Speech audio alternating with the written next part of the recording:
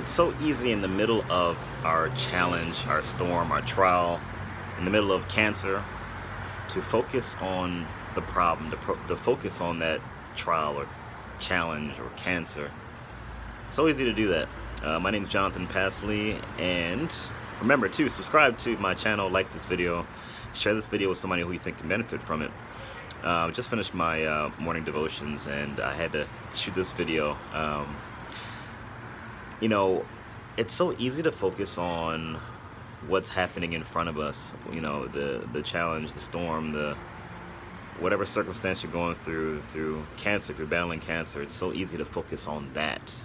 You know, I know in uh, my cancer journey, just speaking from experience, that once you first get diagnosed, you know, you it's it's you focus on that. You focus on the fear and the worry starts starts really kicking in. Um, you know, you, you start thinking, hey, am I gonna make it through the day? Am I gonna wake up tomorrow? You know, uh, this is the last time I'm gonna see my kids. This is the last time I'm gonna see my wife. You know, you start thinking about that. You start focusing on that, and um, it can really consume you.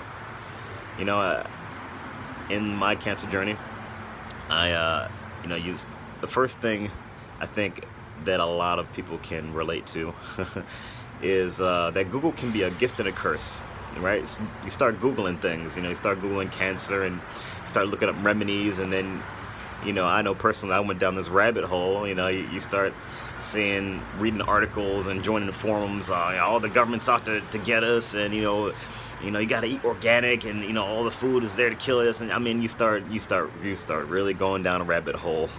And um, you know i don't know whether that stuff is true or not. Um, again i've, I've been down that route. But um, you know it can really consume you. It can be all you think about and all you focus and concentrate on. But you know the real solution is you really got to focus on christ. And uh, in my devotions today you know, I was uh, reading Genesis how, you know, Satan, the devil, tricked Adam and Eve, right, to focus on what they couldn't have, focus on the problem, right? So God told them not to eat from just one tree out of the Garden of Eden. I mean, think about all the blessings that they had. They had, they didn't have to worry about sickness. They didn't have to worry about, you know, food. They didn't have to work. They didn't have to do anything. Everything was perfect. It was a perfect temperature. It was a perfect everything right? And um, they had a lot of blessings. I mean, tons of blessings. But the devil, you know how crafty he is, tricked them, tricked Adam and Eve into focusing on what they couldn't have, focusing on the problem, and forgetting about God, forgetting about God as their source, forgetting about His Word, I know, and, and just focusing on that problem. And that's how the devil tricked them to sinning. And I was thinking the same thing for us, you know, especially for all of us in our, our cancer journey or despite what you're going through. You know, the devil a lot of times can trick us to focusing on the problem, you know, and not the solution. And the solution is, is Christ. You know, the devil can trick us into focusing on, on the cancer, focusing on, hey, are we to make it tomorrow? Are we gonna, am, am I to wake up tomorrow? You know, when the truth is, you know, God's word that he is he's our healer. He's the great physician. You know, he's Jehovah Rapha, right? A great healer. I mean, he's he's a provider. If you're going through whatever it may be, financial, you're lacking in something, he's our provider. You know, he's our source. But the devil really wants us to forget about that and focus on the issue, the problem, the what we don't have. And that's how we can take our eyes off of Christ and focus on, you know, what isn't the solution with the problem. I mean, the solution is Christ you know so um, those thoughts came to my mind you know it's we really have to focus on what god has already blessed us with you know we're despite where we are in our in our challenge in our journey with cancer and and whatever is going on in our life we if god saved us from something before in the past think about that because he'll do it again he'll save us he'll pull us out of the situation that we're in now you know and to really focus on Christ, and it's something I did too as well in my journey. Um, but you know, maybe we pray to God that, hey God, you know, in the midst of our challenge, in the midst of our storm, you know, guide me and direct me on how you want to use me. You know, draw my attention off of the problem and guide me, show me how you want me, how you want to use me. Use me for your kingdom. Use me to help others. Use me to bless others. You know, focus on blessing other people than focus other than focusing on your own situation or, or focusing on the problem.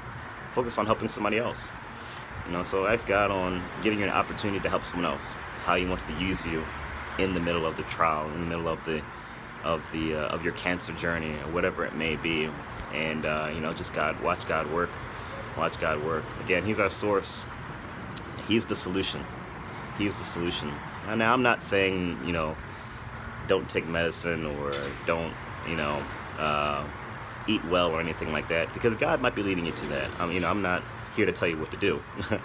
um, you know, but uh, we just got to remember what we got to make sure that we're following God's direction and not man's direction or our own direction, leaning on His understanding and not our own understanding. Because at the end of the day, we don't know what we're doing. People don't know what we're doing. Um, you know, man doesn't know what we're doing, but God knows, and um, you know, He can guide us, and He can send people and resources into our lives to help us too as well. So, um, so yeah, just you know, just a reminder. I hope it's encouraging to you. Again, it's a reminder to me this morning too as well, uh, just to keep God as as the source and to focus on Him and not the problem, not not life circumstances. So, despite what you're going through, um, again, just draw close to God, lean on Him, lean on His understanding, and ask Him to use you for His kingdom, even in the middle of your trial. So, hope this was encouraging to you. Um, again, remember to like this video, subscribe to my channel share this video with somebody who you think can benefit from it. That's the only reason I do these videos. Um, that's what I felt like God was leaning me or pulling me to do in my cancer journey is uh, documenting my my journey and and now it's really snowballed into encouraging others uh, through their journey as God has blessed me with the cancer being in remission. So um, thank God for that. But um, again, share this video with somebody who you think can benefit from it. Uh, and if you are battling cancer, please feel free to join our support group, uh, Christians Battling Cancer. Uh, it's a great group where we just support each other, encourage each other through the journey, pray for each other, and God is doing amazing things in our group. Um, tumors are shrinking, um, blood work and CT scans coming out, coming back positive. I mean, it's just amazing things. Um, go to www.cbc.support. It'll take you directly to the Facebook group. Uh, answer the two questions there, and, and uh, I'll approve your request to join. But um, yes, again, hope you all have a great rest of the day, and uh, see you on the next video. All right.